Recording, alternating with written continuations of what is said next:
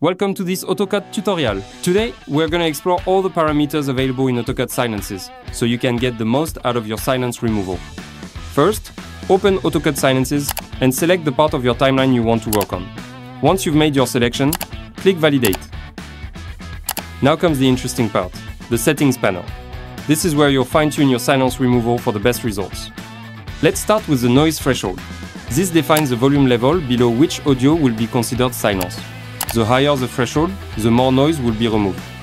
Next, we have pacing, which controls the rhythm of your cuts. You can choose a faster or slower pace, depending on the energy you want in your video.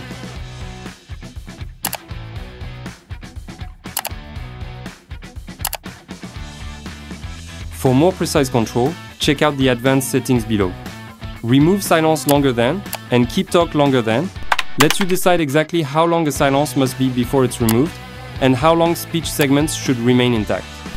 Padding before and padding after can help your edit feel more natural by keeping a small buffer of silence before and after each cut.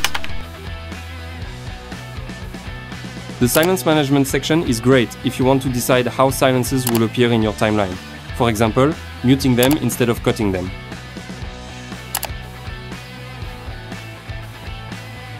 Then, choose a transition to smooth out your edits. You have the choice between J-Cut, which is audio from the next clip, starts before its visuals appear.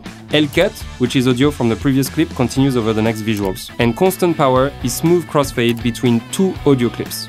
Finally, generate a preview to make sure everything looks right. And that's it! You now know how to use every setting in AutoCut Silences to create clean, natural edits. Don't forget that AutoCut provides a 14 days free trial. No credit card required.